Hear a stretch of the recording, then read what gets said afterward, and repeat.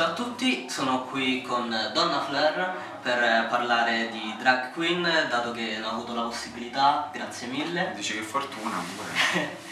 Ora non è vestita, infatti si stava preparando, stasera avrà una serata drag e dovrà presentare, ballare e cantare chi più ne ha più ne metta. Noi ci reinventiamo, siamo tutto fare. Se vuoi aggiusto pure i rubinetti a casa, eh. Ottimo. Quindi avevo alcune domande da farle, così da poter eh, capire meglio il mondo delle drag queen. Ricordo che le drag queen sono soltanto uomini che si identificano come uomini, che per spettacolo si vestono come donne, cantano, ballano, solitamente fanno soltanto un lip sync, però alcune persone cantano anche. Una delle prime domande che volevo farti è come sei stata catapultata in questo mondo.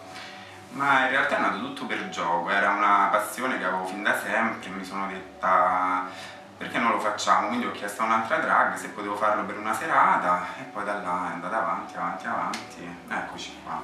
E come hai costruito il tuo personaggio? È soltanto il primo? Hai altri mm, nomi? No, no, no, è solo questo, anche perché io non è che mi limito a fare grandi serate, più che altro sono qui in associazione, lo faccio un po' per, per volontariato ma in realtà il personaggio si ispira un po' a Donatella Versace, cioè nel senso comunque è una persona molto che sembra molto rigida, molto austera, così però poi in realtà invece gli basta un cocktail e si diverte anche lei, quindi poi è un po' mutato ovviamente nel tempo, prima era più una baracconata, era più solo diciamo così un po' più frivolo, invece adesso ci siamo un po' pagati e siamo diventati un po' più seri. Però in realtà ovviamente il gioco c'è sempre. Anche il nome l'hai preso sì, in realtà all'inizio era Dona Flyer. N soltanto. Dona, sì, Flair, che si, scrivendosi Flyer, perché si ispirava appunto a Donatella Versace e Flair perché da piccola mi prendevano in giro perché ho due neghe, adesso non si vedono perché sono nascosti e come la rivista Flair mm. mi prendevano in giro per quelle e quindi avevo creato questo nome.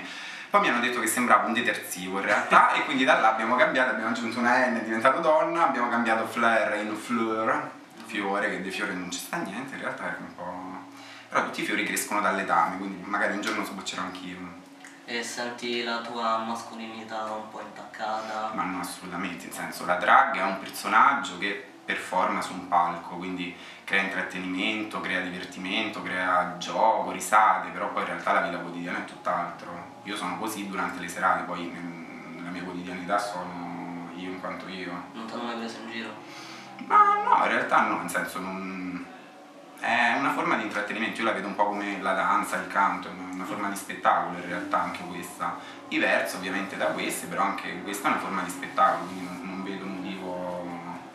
Cosa ne pensi delle drag al Pride? Sono positive, negative? Beh, io penso che il Pride debba rappresentare un po' tutta la nostra comunità, quindi in realtà nella, nella nostra comunità ci sono anche le drag, sono è nato da là il movimento poi se, se rivediamo sì. un po' la storia, quindi in realtà è giusto che ci siano anche loro perché rappresentano una fetta della nostra comunità, come ci sono i gay, le lesbiche, i trans, le trans, eh, i bisessuali o qualsiasi forma che deve essere rappresentata al Pride perché non le drag anche. Anche la nuova pubblicità è stata molto controversa perché hanno messo all'interno delle drag queen, non so se l'hai vista. Eh, di sfuggita, sì, di sfuggita, ma eh, ci sono, fanno parte della nostra comunità perché far finta di no, è come se dovessimo dire sì, allora le lesbiche sì e gay no, o sì, bisessuali non uh, le trans, perché tutti devono essere rappresentati, anche le drag queen. Poi alla fine quando andiamo in discoteca, andiamo a vedere una serata, in realtà ci sono anche loro, quindi perché sì, far finta di niente. E, conosci qualche drag king? Devo dire la verità, no. Zero.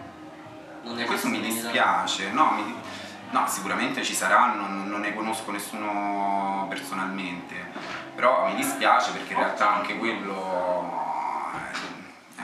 che fa parte del mondo dello spettacolo e quindi mi dispiace che in Italia sia, ma in realtà non è solo una questione di drag king, in Italia anche comunque il lavoro della drag queen non esiste mm. all'estero, ma non bisogna andare tanto oltre, pensare all'America, anche nella stessa Europa, pensando alla Germania, all'Inghilterra e così via, comunque la drag queen è un mestiere, ci sono dei locali appositi in cui si esibiscono tutte le sere, cosa che in realtà non Italia non esiste perché levato le discoteche comunque una volta a settimana non c'è come professione quindi già è difficile vederne come se ne vedono all'estero figurati le, i drag king che ovviamente sono ancora più difficili da trovare so che una drag king no drag queen famosa è stata usata per Ursula della Sirenetta. Ma in realtà è quella che ha ispirato, è una delle drag queen più famose al mondo che si chiama Divine mm. e ha, mm, diciamo, è stata usata proprio come, sim, cioè, no, come simbolo, comunque come il suo personaggio ha dato ispirazione a Ursula della Sirenetta.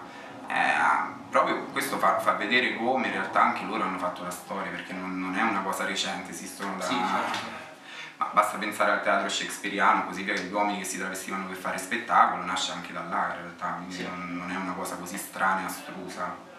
Ultima domanda, pensi che mai smetterai? Hai intenzione di smettere? Ma io mi diverto una cifra in realtà, non vedo l'ora adesso di andarmi a cambiare e salire sul palco, quindi beh, penso di no, poi grattiamoci, facciamo le corna, e finché non mi addobbo da età che mi rompo un ginocchio, il menisco e non posso più salirci, continuerò penso.